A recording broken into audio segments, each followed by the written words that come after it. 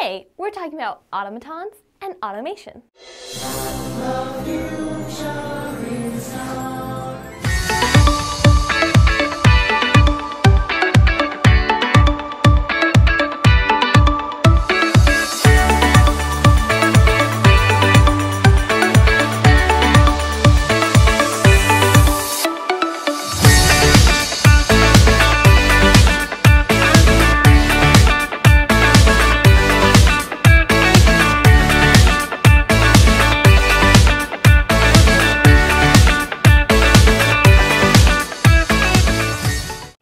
Never heard the word before, an automaton basically just means a mechanical device that seems to move by itself. You may be thinking, robot, but there's actually a lot of other things that are automatons that aren't robots. Have you ever seen a box with a handle on it, and when you crank the handle, it plays music? But then, unexpectedly, something pops out of it?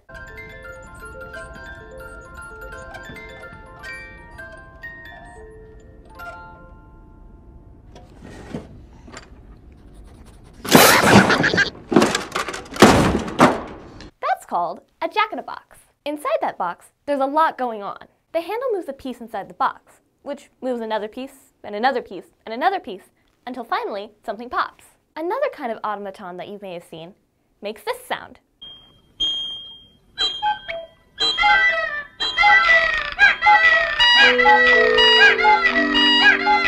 Jack-in-the-Box and cuckoo clocks are pretty modern versions, but automatons go way back in history. Perhaps a story. It was a dark stormy night. Why is the first up? It's frightened. In 1928, a mysterious truck pulled up in front of a museum in Philadelphia and unloaded something very unusual. It was a boy! Well, actually, it was a machine. The mysterious figure was some kind of automaton, made of complex pieces of brass, gears, cams, and pulleys. But it was in horrible shape, broken, and it wouldn't work.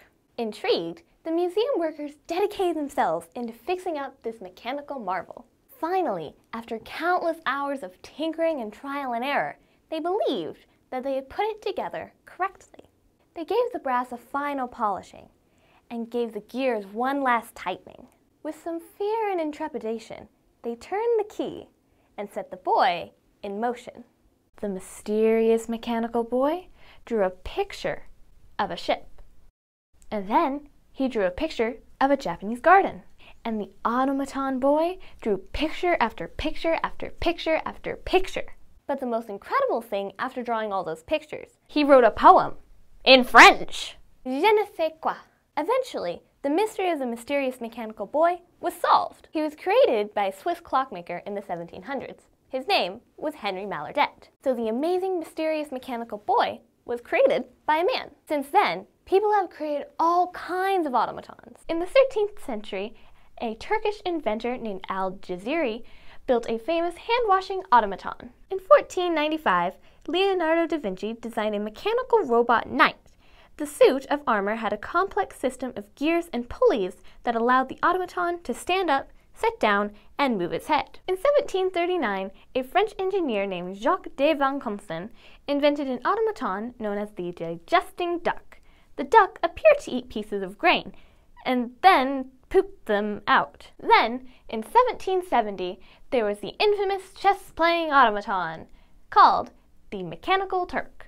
He was an overnight sensation in Europe because this chess playing automaton could seemingly beat anyone. However, in 1820, it was exposed as a fraud. The inventor was hiding a chess master under the table who was controlling the automaton. And to add to this amazing collection, we're going to build our own automaton. But ours isn't going to draw pictures or write poetry or play chess or poop anything out. But it is going to make spheres climb up stairs